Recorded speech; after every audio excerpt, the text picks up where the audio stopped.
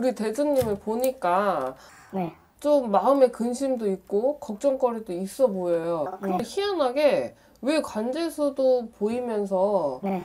결혼을 하고 싶다라는 마음이 굉장히 크다라고 저는 들어오거든요. 근데 왜 여지까지 이러고 있어? 어, 맞아요. 네. 왜 아니 홍기가 지나도 한참 지난 걸로 저는 보이거든요. 어, 어, 홍기를 놓쳤 놓쳤는 건지 아니면 본인이 안 하고 지나오신 건지 지금 그렇다고 해서 혼자 있어 보이지도 않은데 외로운 마음도 굉장히 커 보여요. 맞아요. 음. 그리고 관제수 있어 조심하셔야 돼. 어. 이 어, 지금 관제수로 엮일 수 있는 일이 있을까요? 이거 지금 연애를 하고 있어요. 여자를 하나 만나고 있는데 어 저보다 연상이기도 한데 처음에는 솔로인 줄 알고 이제 만났는데 만나다 보니까 아닌데요? 결혼을 한 상태인 거예요. 네. 근데 저는 저희 둘은 진짜 사랑하는 사이거든요. 근데 뭐 그냥 그렇게 사랑만 하면 뭐 제가 뭐 선생님을 찾아왔겠습니까? 그쵸. 문제가 있으니까 찾아오셨겠죠. 네. 근데 내가 가질 수 없는 여자인 거는 당연히 그건 맞겠지만 이분을 지금 기다리고 있는 거 있는 입장이시잖아요. 네. 그래서 아까 보면은 왜 결혼을 하고 싶은 마음이 굉장히 있는데 네. 못한 거나 안 한 거냐 이건데 네. 어떻게 보면 못한 거죠. 안 한 게 아니라 근데 이 여자분이 지금 남편이 있다라고 말씀을 하셨잖아. 네. 그럼 이혼을 하고 돌아오셔야 되잖아. 네. 근데 이혼을 못 해. 어, 응.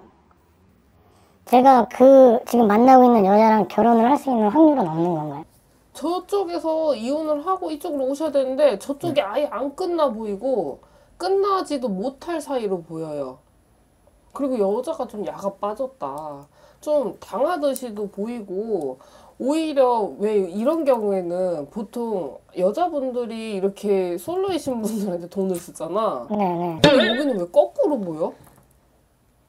맞아요. 제가 아니, 뭐 사치가 있다고 생각하진 않는데 제 여유가 있으니까 마음이 가는 만큼 해주고 싶은 마음이 있어서 뭐 해주는 거라 아깝다는 생각은 안 하는데 그게 이제 처음에는 이제 그냥 그쪽에서도 이혼을 계속 해주게 하겠 하고 오겠다 하고 오겠다 그랬는데 이제 남녀가 만나다 보면 이제 관계도 갖고 뭐 그러는 사이가 되잖아요. 근데 꼭 그럴 때마다 자리도 피하고 뭐 다른 사유가 있다고 또 피하고 뭐 남편하고는 사이가 계속 안 좋대요. 그래서 저도 그러면 안 된다는 걸 알지만 근데 진짜 사랑을 하거든요. 그래서 가족들한테도 말도 못하고 저만 소가, 소가리를 계속 하고 있어요. 그래서 이게 과연 이어질 수 있는 건지 뭐 남편하고는 엄청 사이가 안 좋다고는 매일 늘 얘기해요. 근데 뭐 자식도 없어요.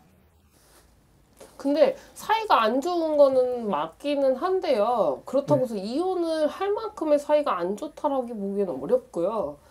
아까 그랬잖아. 뭔가를 해주고 선물도 해주고 뭐 이렇게 하셨다고 마음이 가니까. 네. 근데 제가 봤을 적에는 그게 좀 과해 보이는 것도 있고 이 여자분이 굉장히 화려하게 보여요. 어, 자기의 이미지라든가 자기의 뭔가 이렇게 내세울 수 있는 것들에 대한 좀 집중을 하는 여자지 안에서 살림살이만 할 수 있는 여자는 못 된다라고 보여지고 맞아요. 느끼신 것 같은데 엄청 세련됐어요 여자가. 그래서 뭐 그 나이대로 보이지도 않고 뭐 물론 앞에 계신 선녀님도 미인이시지만 음, 감사합니다. 예. 제 눈에는 그 친구도 엄청나게 미인이거든요. 진짜 되게 세련됐어요. 그러니까 어 이거를 해주면 잘 소화를 하니까 제 입장에서는 더 해주고 싶은 마음이 큰 거예요. 즐거우니까 네네네.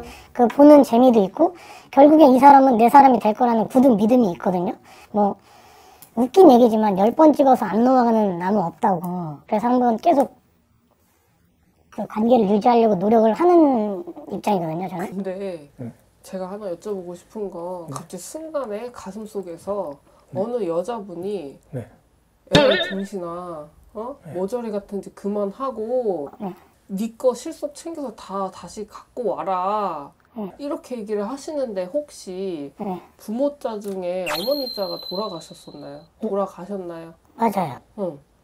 나도 모르게 내가 엄마 같은 마음으로 어, 그래 등신아 머저리 같은 애야 이렇게 하면서 욕이 나와. 어머니가 진짜 그 등신이라는 말을 되게 많이 쓰셨거든요. 네. 그런 식으로 지금 얘기를 하시면서 본인이 마음으로 해줬던 거에 대한 금전의 손실이 굉장히 컸대요.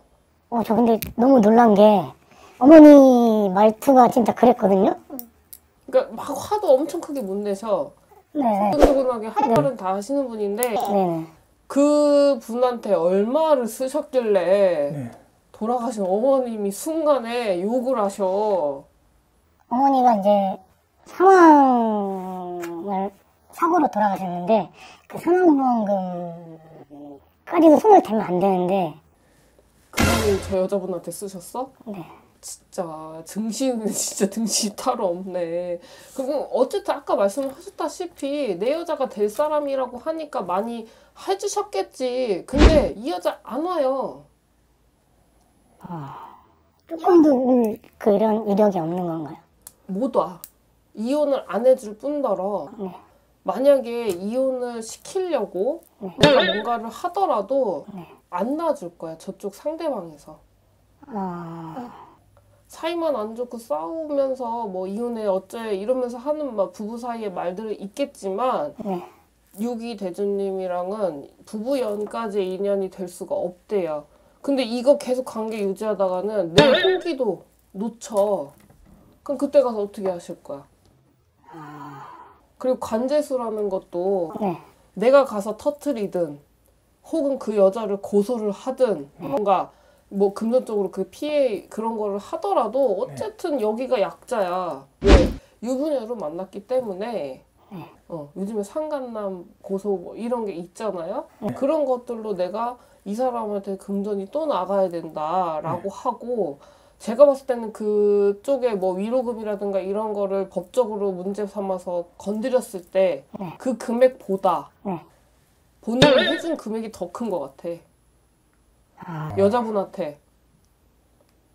무슨 말인지 아, 세요 그냥 1, 2천 해준 그런 양이 아니라 거의 뭐 부모님 사망보험금까지 그 손을 댔다라고 하면 저는 거의 큰 거 한 장은 좋게 나갔다라고 생각이 들거든요. 맞아요. 그러니까 멍청한 짓 한 거야. 어, 터트려서 응? 열이 받아서 남자 그 남편분한테 가셔가지고 네. 이러쿵 저러쿵 상황 설명 다 하고 네. 내가 그 소송 고소를 당하더라도 네. 그거 줘더라도 이쪽에서 가져간 금액이 더 클 거라고. 어, 그러면 혹시 극단적으로 진짜 그렇게까지 해서라도 뭐 이루어질 수 있는 그런 게 혹시 없나요? 아, 무조건 이 여자면 돼. 네네. 내가 그 벌금이라든가 뭐 위로금을 물더라도 네. 뭐 그렇게까지 할 거 있어요? 그래서 선녀님 찾아온 거죠. 근데요, 이 여자분이 나한테 온다 한들 네. 온전하게 내 옆에만 있어줄 여자가 못 되고 내겉 모습을 화려하게 꾸미고 내 잘난 맛에 사는 여자분이기 때문에 옆에서 많이 힘드실 거야. 그건 알고 행동을 하셔야 돼. 그럼 또 그런 경우가 저 아니고 다른 또 생길 수 있죠. 일단은 그렇죠. 아, 왜냐면 진짜 이혼할 사람이라면 이렇게 긴 시간 동안 안 내버려둬요. 근데 제가 자꾸 이, 이용하는 것 같아. 왜? 여기도 약자가 되니까. 이게 알려졌을 때 내가 겨, 뭐야 결혼하는지 모르고 만났어요. 이 사람이 나를 처음에 속였어요. 근데 뒤늦게 알았잖아. 그럼 거기서 끝을 했어야지. 근데 이걸 이어오셨잖아. 이 여자분이 네. 속아서. 맞아요. 근데 이 여자는 이걸 역이용하시는 거야. 저는 속았다고 생각하지 않아요. 근데 아니, 그러니까 역이용 하시면서 나를 너무 사랑해주고 헌신적으로 해주고 남편보다 오히려 나한테 금전적이든 뭐든 잘해주시니까 맞아요. 그걸 역이용하시는 거라고. 어, 마음이 없진 않겠지만 오히려 그런 물질적인 거를 더 많이 좋아하셨던 분이신 것 같아요. 제가 봤을 적에는. 그러면 네. 머저리 같은 짓 그만하시고 어, 헤어지시는 게 맞는 거고 그렇게 하셔야 될 것 같아요. 그럼 그 친구한테는 저에 대한 사랑이 보이시지 않는 건가요? 그러니까 마음은 어느 정도 있는데 네. 그 마음이 온전한 사랑이 아닌 물질적인 사랑에 대한 마음도 컸다라는 거죠. 이용당하신 거야. 무슨 말인지 아세요? 네. 그러니까 바보 같은 짓 그만하시고 찾아올 거는 찾아오시고 네. 끝내실 건 끝내셔야 돼. 그렇다면 뭐 다른 인연이 혹시 뭐 있을까? 결혼의 홍기는 앞으로도 계속 있어요. 그러면 아니 뭐대 멀쩡하게 생겼겠다. 어디 가서 내놔도 빠지지 않게 생겼겠다. 뭐가 두려워서 이 여자만 바라보고 계셔. 어? 모자른 게 있어야 여자 기다리세요라는 말이라도 하지. 저한테는 전부거든요. 근데요, 이게 전부는 아닐 거예요. 아, 오히려 더 나한테 헌신적이고 나한테 더 잘해줄 수 있는 여자분 들어올 거니까 아, 그런 부분에서 겁먹지 마시고 이용당하지 마세요. 자꾸 아쉬운 소리 할 때마다 어 그렇게 뭐 하나씩 해주면서 이 여자 사로잡지 마세요. 무슨 말인지 아시겠죠? 네. 아닌 건 아닌 거예요. 좀 말씀을 들으니까 정리도 되고 이용 당하지 마시래. 그만 이용 당하시래. 어머니께서 네. 이게 그냥 어머니 마음이 전달이 되는 거죠, 제가. 어. 그냥 안타깝고 멍청이 같고 내가 옆에 있었으면 이런 일 안 당했을 건데 라는 소리가 자꾸 나와. 그러니까 정체다 선말리 하는 것도 사실인 것 같아요. 이제 그만하셔. 어머니께서도 맨날 그러셨거든요. 넌 멍청하게 살지 말라고. 너무 착해. 그게 착해 빠졌어, 그냥. 근데 저는 나름대로 똑똑하게 진짜 판단하거든요. 아니야. 너무 아니야. 감정에 이끌리지 마세요. 아. 이성적으로도 한번 생각해 보실 필요가 있으실 것 같아. 아셨죠?